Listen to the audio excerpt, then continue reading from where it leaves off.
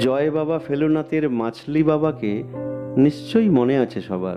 কিংবা পাতাল ঘরের গোবিন্দ বিশ্বাসকে, যিনি সবার কাছে নিজেকে অপয়া বলে পরিচয় দিতেন, তিনি আর কেউ নন। বাংলা চলচ্চিত্রের উজ্জ্বল নক্ষত্র মনু মুখোপাধ্যায়। অভিনয় জগতে প্রবেশের প্রথম পর্বে মনু মুখার্জি নামে পরিচিতি পেলেও তার প্রকৃত নাম সৌরেন্দ্রনাথ মুখোপাধ্যায়।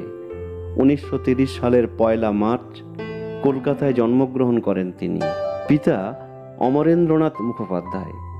মনু মুখোপাধ্যায় উনিশশো সালে ভারতী বিদ্যালয় থেকে ম্যাট্রিক পাশ করেন। এরপর কলকাতা বিশ্ববিদ্যালয়ের অন্তর্গত মহারাজা মনীন্দ্রচন্দ্র কলেজ থেকে আইএ পাশ করেন। অভিনয়ের প্রতি ভালোবাসা জন্মায় সেই ছোট্টবেলা থেকেই। পাড়ার ক্লাবে অল্প বয়সে স্ত্রী চরিত্রে প্রথম অভিনয় করেন তিনি, উনিশশো সাতান্ন সাল। যোগদান করেছিলেন শ্রীরঙ্গন থিয়েটারে। প্রথম দিকে তিনি ছিলেন থিয়েটারের প্রম্পটার। ষাটের দশকের শেষের দিকে শহর কলকাতার বিখ্যাত প্রেক্ষাগৃহ, সুজাতা সদন, মিনার্ভা, বিশ্বনাথ মঞ্চ, রংমহল এবং স্টারে দাপিয়ে অভিনয় করে গেছেন মনু মুখোপাধ্যায়। তবে থিয়েটারে তিনি জনপ্রিয়তা পান ক্ষুধা নাটকে ঘটনাচক্রে কালী বন্দ্যোপাধ্যায়ের পরিবর্ত শিল্পী হিসেবে অভিনয় করে।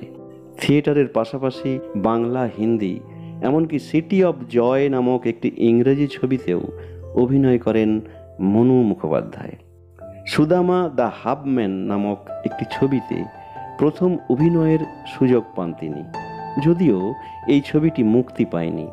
এরপর উনিশশো উনষাট সালে বিশ্বখ্যাত পরিচালক মৃণাল সেনের নীল আকাশের নিচে ছবিতে অভিনয় করেন মনু মুখোপাধ্যায়। দীর্ঘ ছয় দশক ধরে কাজ করেছিলেন সত্যজিৎ রায়, তরুণ মজুমদার, বাসু চ্যাটার্জি থেকে সমকালীন ঋতুপর্ণ ঘোষ, অপর্ণা সেন, প্রভাত রায় প্রমুখ দিকপাল পরিচালকদের সাথে।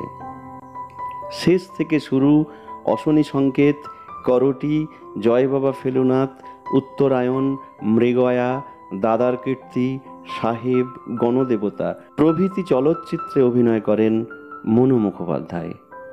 প্রতিভাবান এই অভিনেতা যখন যেমন চরিত্রে অভিনয়ের সুযোগ পেয়েছেন, নিজস্বতার ছাপ রেখেছেন, তবুও পরিচালক বা প্রযোজকরা কখনোই তাকে মুখ্য ভূমিকায় সুযোগ দেয়নি।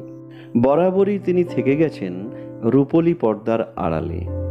চলচ্চিত্র ছাড়াও বেতার নাটক ও বাংলা ধারাবাহিকেও অভিনয় করেন মনু মুখোপাধ্যায়। অভিনয়ের পাশাপাশি তবলা বাদক হিসেবেও বিশেষ পরিচিতি ছিল তার। বিখ্যাত তবলা বাদক কৃষ্ণকুমার গঙ্গোপাধ্যায়ের কাছে তবলার প্রশিক্ষণ নেন তিনি। অভিনয় জগতে অনবদ্য অবদানের জন্য দু হাজার পনেরো সালে পশ্চিমবঙ্গ সরকার তাকে টেলি একাডেমি সম্মান প্রদান করেন। ষাট বছরের দীর্ঘ কেরিয়ারে পঞ্চাশের অধিক বাংলা ছবিতে অভিনয় করেছেন মনু মুখোপাধ্যায়।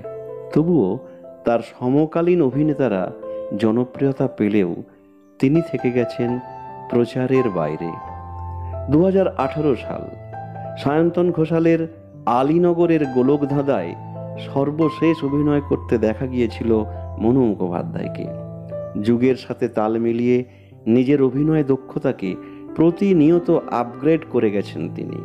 দীর্ঘদিন ধরে তিনি হৃদযন্ত্রের সমস্যা সহ বার্ধক্যজনিত বিভিন্ন সমস্যায় ভুগছিলেন। অবশেষে দু হাজার কুড়ি সালের ছয়ই ডিসেম্বর নব্বই বছর বয়সে শেষ নিঃশ্বাস ত্যাগ করেন গুণী এই অভিনেতা। জীবনের শেষ ইচ্ছা ছিল একশো বছর বয়স পাবেন, কিন্তু তা আর হলো না। স্বাধীনতা পরবর্তী বাংলা ছবি থেকে শুরু করে আধুনিককালের বাংলা ছবি সব ক্ষেত্রেই পার্শ্ব অভিনেতা হিসেবে তিনি সমান গুরুত্ব রেখে গেলেও বাংলা ইন্ডাস্ট্রিতে তিনি থেকে গেলেন প্রচারহীন এক অভিনেতা হিসেবে। বাংলা চলচ্চিত্রে তার এই অভিজ্ঞতাকে কি আর একটু কাজে লাগানো যেত না? প্রশ্নটা থেকেই যায়। ভিডিওটি ভালো লাগলে লাইক করুন, শেয়ার করুন এবং আমাদের চ্যানেলটি সাবস্ক্রাইব করে পাশে থাকবেন। ধন্যবাদ।